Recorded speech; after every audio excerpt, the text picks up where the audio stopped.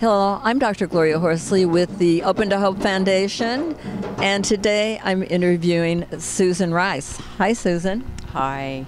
Now, Susan is a nurse like I am, and uh, we were talking about the fact that uh, she works at a center where people are, have losses themselves, and uh, even though they're helping people, tell us about the center where you work.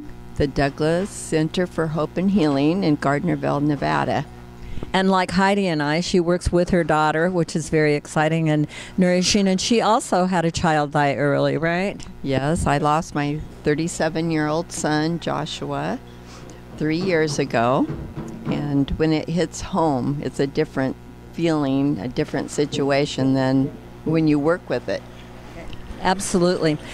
Well, um, when you uh, have a loss and you're working in the field, there's really a lot of burnout and, and surprises, right? Yes, and I think everybody needs to stop and take a deep breath and be patient with yourself because these stages of grief aren't something that just goes away after the service. And the friends are there for you during that time, but later on, you, you experience the anger, the shock, and you just feel alone. And these centers for offering support are so dynamic. And I think it's important if you're a healthcare giver and you've had a loss to reach out and not be uh, feel shy about feeling like you're backtracking in a way and getting help yourself.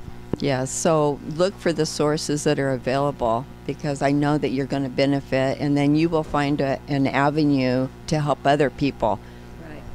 Well, thank you for watching this video today. I'm Dr. Gloria Horsley with the Open to Hope Foundation, and we want to remind you that if you've lost hope, please lean on ours until you find your own, and God bless.